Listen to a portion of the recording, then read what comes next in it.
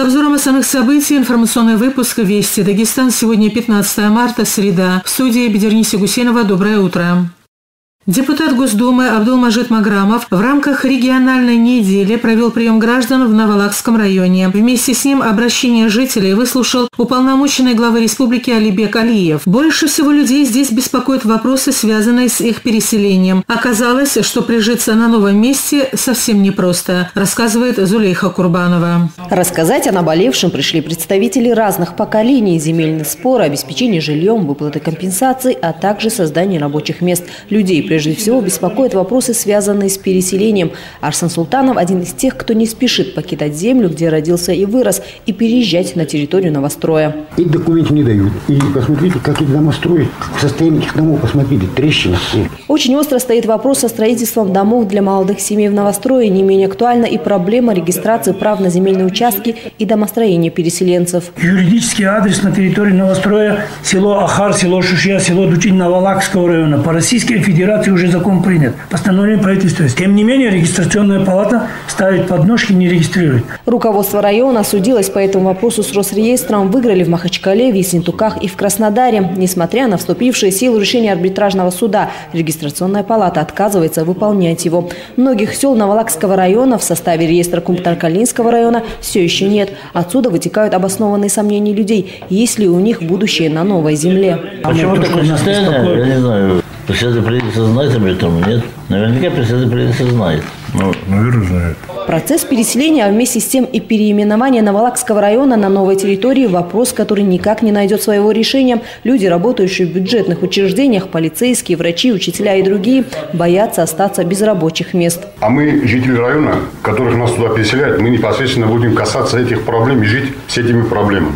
Начиная с главы республики, все вместе, и депутаты Народного собрания, и депутаты Государственной Думы, и глава района, и вся общественность вот этим вопросом они занимаются. Сегодня есть люди, которые занимаются вашими проблемами. Многие жители района до сих пор стоят в очереди на переезд, а Асиат Гаджиева из Навалака даже не попала в список переселенцев.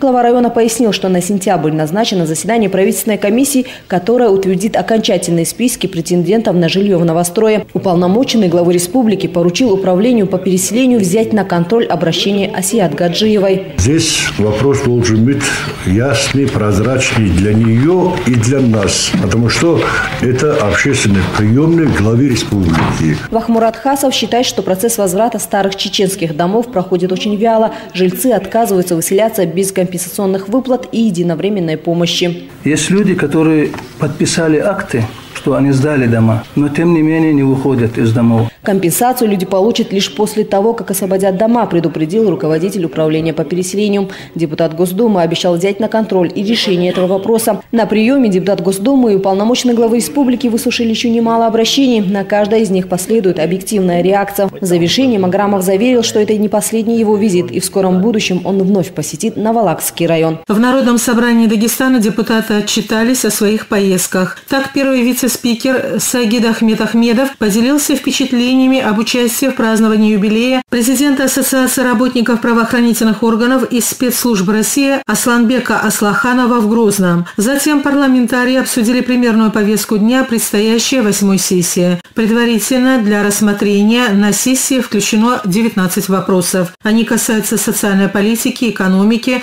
и вопросов местного самоуправления.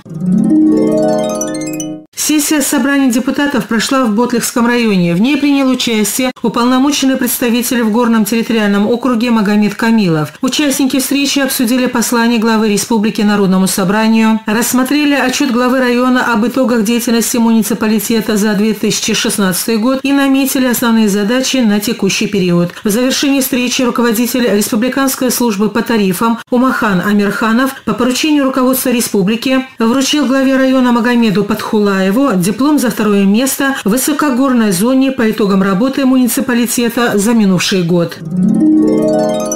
Готовится к открытию дагестанский филиал Центра одаренных детей «Сириус», созданный на базе Дагестанского технического университета. Министр образования Дагестана Шахаба Шахов рассказал, что заезд в Центр 75 учащихся состоится 23 марта. Первая математическая смена пройдет с 24 по 30 марта. Отметим, что филиал «Сириуса» призван развивать способности и таланты юных дагестанцев, а работать с детьми будут приглашенные педагоги из разных регионов страны страны. В продолжении темы «Способности ребенка можно развить», утверждает психолог Республиканской психотерапевтической поликлиники Аида Магомедова. Большинство психологов считают, что почти в каждом ребенке есть способности. Задача взрослых и прежде всего родителей их развить. Не всегда так думали. Но в столь отдаленные времена бытовало мнение, что необычные способности человека являются врожденными и практически не изменяются в течение жизни. Чтобы вырастить вундеркинда, нужно терпение и организовать обучение ребенка так, чтобы он мог получать от этого только положительные эмоции. Дети обожают учиться, но только когда это не скучно. Прежде всего, в детской ребенка нужны наглядные материалы, которые развивали бы его без особых усилий. Это повешенные на стенку буквы, слова, плакаты с животными, глобус, пирамидки, конструкторы и так далее. Для физического развития хорошо иметь спортивные снаряды. Мы советуем при обучении использовать все пять чувств человека. Вокруг ребенка должны быть разные формы, цвета, обязательно музыка. Очень мудрая мама знакомила ребенка с различными запахами,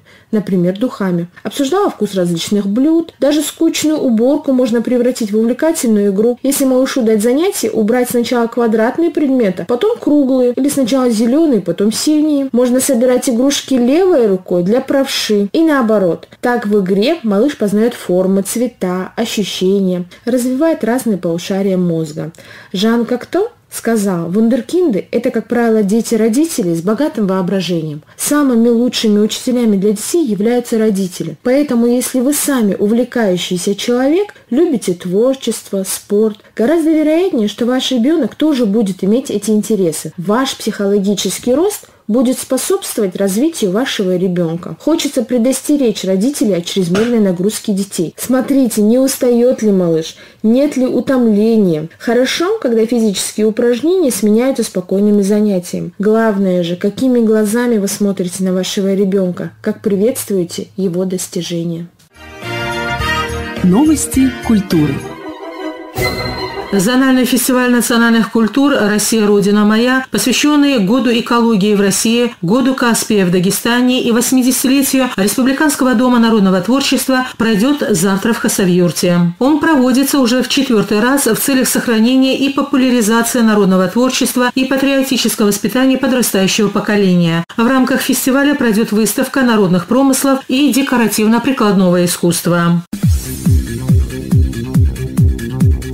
О спорте. Более 60 лучших дартсменов собрал республиканский турнир в Кизельюрте. За победу в трех номинациях боролись представители Махачкалы, Буйнакска, Каспийска, Шамильского, Чародинского и Ахтынского районов. Спортсмены соревновались в личных и командных зачетах. Чемпионами стали Шамиль Гаджиев из Буйнакского района и Раисат Магомедова из Махачкалы. Среди 15 команд участников победу одержали хозяева турнира кизель-юртовцы. В финале они победили соперников из Буйнакского района. Большую благодарность организаторам. Это действительно такой вид спорта, который доступен, если не с малолетними, во всяком случае, таким, как я, молодым, это очень хороший вид спорта, очень доступный. Немного требуется ни экипировка, ничего, поэтому давайте мы сделаем, как раньше у нас было, один плюс три. Каждый из нас по три человека нас есть соревнования, будет привлекать за собой. Прекрасный вид спорта. Победителей и призеров турнира наградили медалями, кубками и денежными призами. Погоде. По сообщению до гидромедцентра сегодня по районам республики ожидается Местами небольшой дождь, туман. Ветер восточный, юго-восточный 6-11 метров в секунду. Местами 9-14. В горных районах юго-западный 6-11 метров в секунду. Температура воздуха 7-12 тепла, в горах плюс 8-13. В Махачкале переменная облачность, ветер юго-восточный 6-11 метров в секунду. Температура 7-9 тепла, вода в море 6 градусов. Вы слушали информационный выпуск «Вести Дагестан» о событиях дня 18.10, а я прощаюсь и желаю удачного рабочего дня и хороших новостей. Дня и хороших